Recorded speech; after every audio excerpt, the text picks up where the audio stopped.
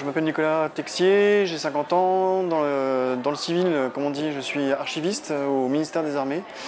Et euh, donc je suis venu à l'écriture de l'imaginaire. Auparavant, j'ai publié trois romans chez Gallimard à partir de 2008 euh, jusqu'à 2013. Et puis j'avais envie, en fait, après euh, avoir travaillé dans ce domaine-là, de m'ouvrir à des choses beaucoup plus euh, beaucoup plus libre en fait. Ce que j'ai été chercher dans l'imaginaire, c'est justement cette liberté narrative, euh, ce qui m'a permis justement de mettre dans ces ouvrages, donc dans Opération Sabine d'abord et Opération Jabberwock ensuite, tout ce que j'appréciais, euh, de tout ce que j'avais pu lire depuis que j'étais enfant et, voilà, il y, a, quelque chose d'une certaine générosité que j'essaie de transmettre dans ces, dans ces ouvrages. Alors Monts et Merveilles, c'est une trilogie qui se déroule donc dans les années 1930 dans un univers alternatif en fait, où il y a un peu de magie, il n'y a pas d'armes à feu parce qu'il y a un certain nombre de, comment dire, de réactions physiques euh, normales qui ne, qui ne fonctionnent pas, compte tenu de la présence de la magie.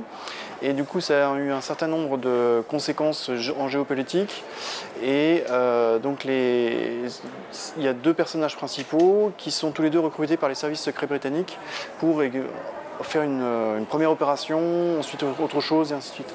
Donc en fait, chaque livre est consacré justement à une de leurs aventures, on va dire. Donc ça peut se lire à la fois euh, dans l'ordre et de manière indépendante. Il y a un arc euh, narratif global, mais ça peut quand même se lire indépendamment. Et donc voilà, l'idée c'est ce, mélange justement des genres avec beaucoup, de, beaucoup de choses qui tiennent à la fois au roman d'espionnage, au roman de KPDP, en gros un roman d'aventure. Et donc ça se déroule dans les années 30. Alors comme justement il n'y a pas eu euh, le moteur à explosion, il n'y a pas eu ce genre d'invention, forcément ça tire plus vers la fin du 19e.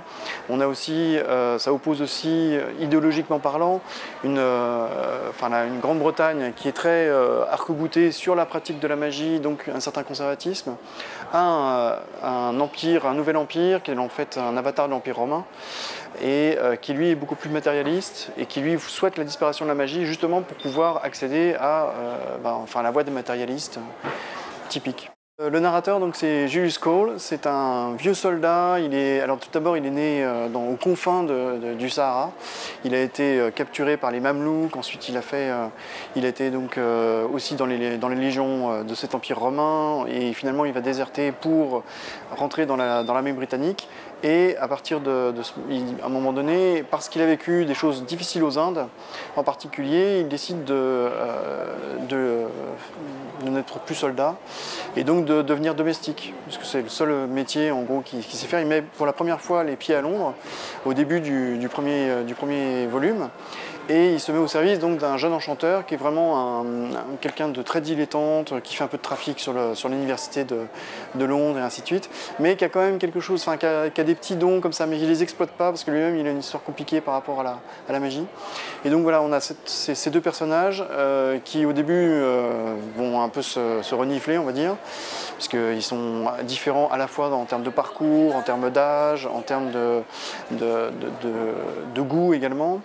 Et finalement, voilà, il y a une relation un peu de, père à fils qui va s'instaurer entre le narrateur, donc, qui est beaucoup plus âgé, qui est véritablement un vétéran, et puis ce jeune Godeluro, entre guillemets, euh, qui, finalement finit par être assez attachant euh, pour le personnage. Je voulais faire de la fantasy vraiment, parce que c'est quelque chose que je voulais faire depuis longtemps, mais je voulais pas faire de la fantasy qui soit médiévale par exemple, parce qu'il y avait une, question de mentalité. C'est-à-dire que si je voulais vraiment pouvoir tenir la voix du personnage, enfin du narrateur en particulier, il fallait que ce soit des personnages qui euh, soient d'une mentalité proche de la nôtre. En réalité, très souvent, les romans de médiévaux fantastiques ne euh, s'approchent pas forcément de la, mentalité telle qu'elle était véritablement au Moyen Âge. Parce qu'il faut bien imaginer à quel point ces gens-là étaient des extraterrestres. Pour nous, euh, d'un point de vue de leurs objectifs, de leur vision du monde, etc. Et donc pour moi c'était beaucoup plus simple d'une part d'amener ça vers une époque plus contemporaine. Euh, et, ensuite pour le mélange des genres, c'est vraiment parce que j'ai souhaité ne, me priver de rien il y avait cet aspect générosité, un peu liberté aussi que je, que je voulais, euh, voilà, qui m'a été assez naturel. C'est-à-dire que au départ, c'est, enfin, la, narration, elle part simplement de Moby Dick, vous voyez, le livre de Melville. Donc c'est cette influence-là. C'est aussi tout ce que j'ai pu lire en fantasy, en particulier Le Seigneur des Anneaux, comme tout le monde, évidemment. Mais euh, voilà, il y avait, il y avait tous ces éléments-là qui se sont rencontrés à un moment donné. Euh, et la voix de, de Julius Cole, en l'occurrence, s'est imposée très vite. Le personnage aussi, vraiment. Et, en fait, avec tout ce, transport qu'il a lui aussi, parce que c'est un passionné de poésie, de littérature, il c'est un, parfait autodidacte, mais c'est un passionné, et en fait, sa vocation véritable, c'est celle de l'écrivain en l'occurrence, ce en quoi on se rapproche.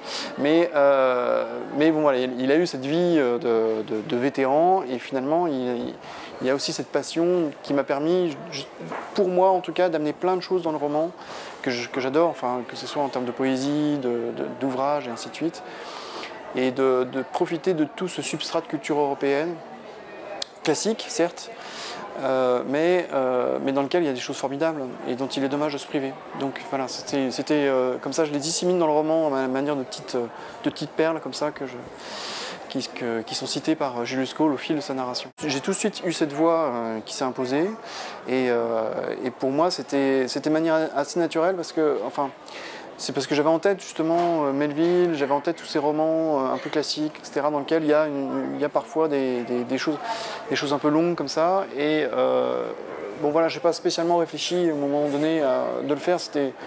Pour moi, c'était une façon aussi de me, permettre ce genre de choses.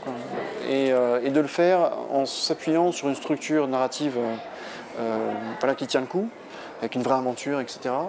Mais aussi stylistiquement de me permettre de, lâcher un peu les chevaux, si je puis dire. Et euh, du coup, ça permet, euh, je crois, à mon avis, ça restitue justement ce, côté un peu. Enfin, il y a quelque chose d'un peu aventureux finalement dans cette, dans, cette, dans cette phrase, un peu comme un fleuve. Quoi. Et euh, bon, voilà, je me suis, je suis vraiment bien amusé. J'ai vraiment bien profité. Je continue de, profiter de ça, évidemment, avec, avec le, le troisième volume, puisque donc c'est une trilogie. Le troisième volume, a priori, il devrait sortir en septembre 2020, parce que le deuxième volume vient de sortir en février, là. Et euh, bah voilà, je continue avec, euh, tout cet aspect, machin, et puis euh, c'est vraiment, un bonheur d'écrire ça, vraiment.